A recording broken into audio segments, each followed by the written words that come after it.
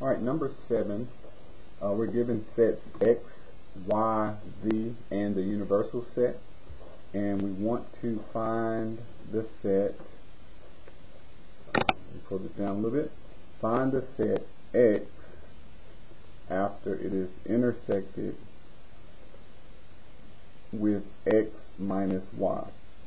So that means we're going to take the parentheses part first we're going to take the set X, take out the elements that are also in Y, and then we're going to find out what is left in X.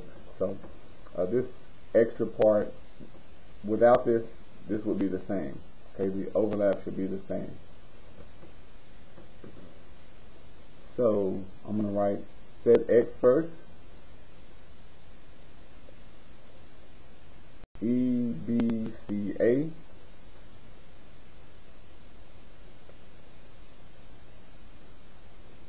We're to take away y, and write it right below it. Um, e, F, B, E, F, B. Alright, so E, we're going to take that away, and B, we're going to take that away.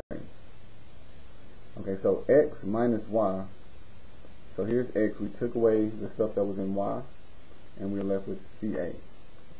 So the set X intersected with CA, what does it have in common with CA? Should just be the elements of CA because they were already in X. So basically we're looking at X which is E, B, C, A. And then intersection is saying what does it have in common with this set when we subtracted Y, which was just C and A.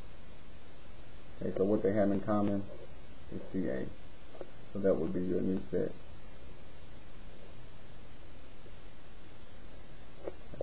So just CA.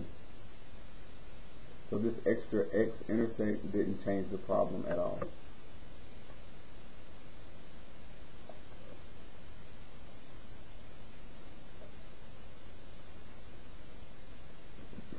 Now this one is going to be a little bit more of a challenge.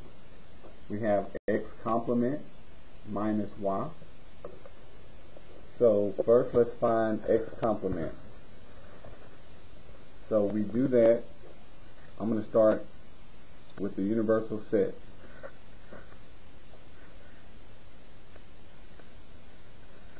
The universal set is I, J, K, M N L M N O. Alright, so this is the universal set. Okay, so X complement is going to be everything that's in the universal set, but not in X. So let's find X complement. So according to this diagram, the things that are in X are I, K, M, O. So I'm going to take those out. I'm going to get rid of I, K, M, and O. Everything that is left is X complement. So I got rid of what was in X and everything else would be J, L, N. J, L, N. I don't know why I keep switching between capital and lowercase, but uh, something I just tend to do naturally. Okay, so J, L, N. This is X complement. And X complement, we want to take away the elements that are in Y. Okay, so Y has the set I, J, K.